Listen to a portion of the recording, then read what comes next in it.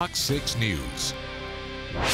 Our big story tonight at 10, a showcase of solidarity. Two high schools faced off in boys basketball. But it's what happened off the court that brought both teams together in a time of crisis for one community.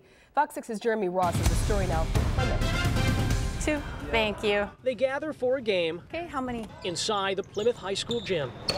But before visiting Campbellsport High School scores even one point, We've all shed our tears. they've already suffered a loss no scoreboard can record. We'll probably continue to shed our tears for a long time. Saturday, nine students attending Campbellsport High were riding in an SUV. Deputies say the driver was going well over the 55 mile per hour speed limit, lost control, and flipped the vehicle with some inside not wearing seatbelts. The crash took the lives of three and left six others injured. Did you want a support ribbon? Yes. In a show of compassion and condolence, fans who would normally wear Plymouth colors Black and orange. instead showcase Campbellsport's blue and gold. That means a lot to me.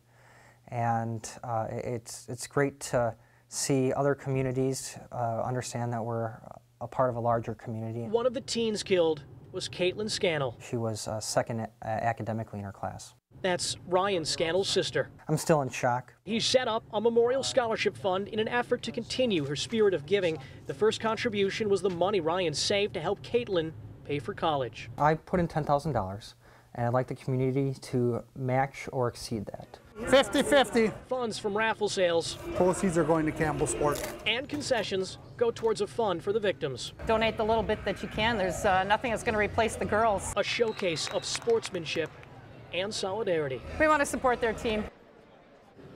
Sheriff's deputies tell us that they'll be wrapping up their crash investigation as early as the end of this week, and they apparently are not recommending charges against the driver at this time, instead, leaving that decision up to the district attorney's office. In the meantime, if you want more information on that scholarship fund, visit our website.